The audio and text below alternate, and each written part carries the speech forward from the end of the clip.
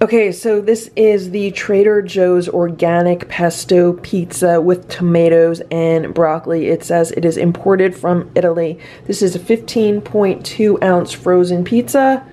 And this is what the pizza looks like when you take it out of the box.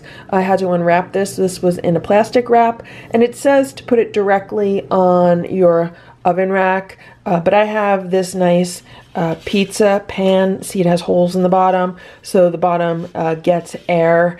And uh, I just think it's a neater way to cook it. That way, if anything bubbles over, uh, it's not going to bubble over all over your oven. Most of it will just stay uh, in this pan. So the instructions for this pizza say preheat oven to 425 degrees Fahrenheit, remove all packaging from pizza and place directly on oven rack for 12 to 15 minutes or until lightly browned and heated through.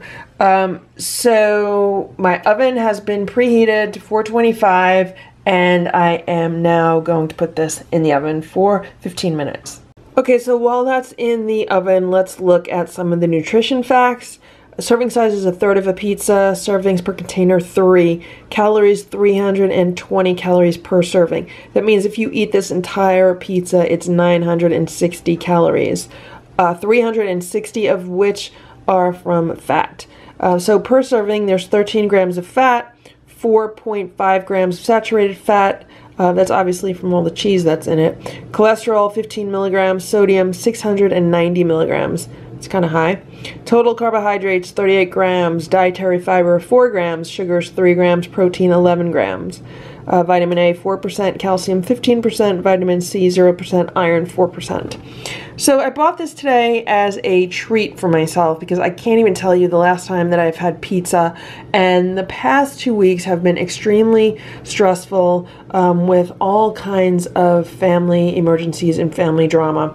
So this is a little bit of comfort eating right now. It's also, uh, again, like a little treat uh, because I'm working from home today and I just feel like I've done really well the past two weeks, so might as well treat myself to something like a pizza to eat. So the ingredients are organic wheat flour, organic sliced tomatoes, organic pesto sauce, which is organic basil, organic sunflower oil, water, organic sugar, organic wheat starch, salt, organic lemon juice, organic garlic.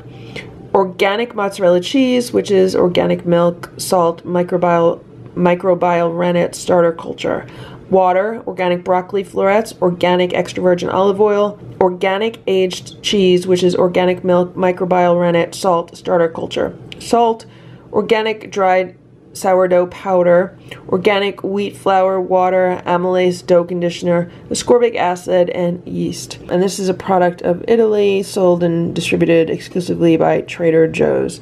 Um, now, I don't normally uh, consume cheese or dairy products, so that's why this is kind of a treat for me. So we'll see how this comes out. Okay, so this is what the pizza looks like after 15 minutes in the oven. You can see how the edges have gotten nice and brown. I am going to let this cool down for a few minutes and then I'm going to taste it. Okay, so I cut the pizza into six little pieces, so now let's taste it.